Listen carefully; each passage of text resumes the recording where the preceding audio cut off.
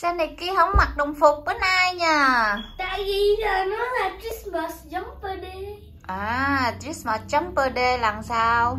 Là mình phải ờ, đi ở trong trường Ở trong cái Christmas jumper. À phải mặc jumper. Nó giống như bạn này kia đang mặc đó. Mặc áo len ấm. Có hình Này hình kia Hình Noel Hình của này kia là gì? À hình của người tiết nè. Rồi bữa nay mặc mặc cái đó để chi vậy nha Tại Tại vì ờ, nó là Christmas. Không phải để làm gì? Ừ, Làm gì? Hôm nay này kia làm gì gì gì nè?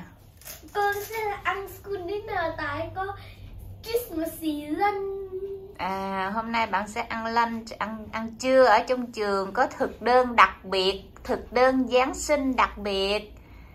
Cho nên hôm nay bạn đòi ăn trong trường, ăn đồ ăn trong trường. Chắc là có thịt uh, turkey nè.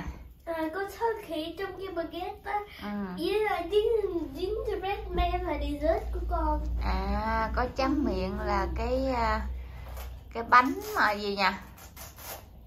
Bánh bánh nó gọi là bánh gì ta? Bánh quy gừng hả?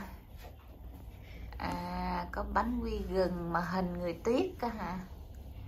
Hình gingerbread man gingerbread man hả cái đó dịch tiếng việt là gì trời không biết nữa hình gingerbread man à, hôm nay nhà bạn Nikki ở trường của bạn Nikki là mặc Christmas jumper day để gây quỹ từ thiện các bạn nhỏ đà, đi vô trường là mẹ sẽ cho một đồng hai đồng gì đó bỏ túi để à, quyên góp từ thiện. Rồi lúc mà đi vô cổng là có cái cô đứng hả? Vậy con đưa tiền lúc nào? À, à, Có cái cô đứng. Cô đứng ngay cổng cầm cái bucket đó hả? Cầm cái xô hả? Yeah rồi móc một túi ra đưa cho cô ha. Một đồng mẹ để đó ha. Rồi hôm nay bạn này kia chạy nữa nè chạy bộ từ thiện nè cả trường hay cả lớp không biết nữa. Cả lớp. Cả lớp đó hả? Cả trường á mà at different time. À cả trường nhưng mà chạy thời gian khác nhau. Của con là before lunch time á. Là gì? Trước gì?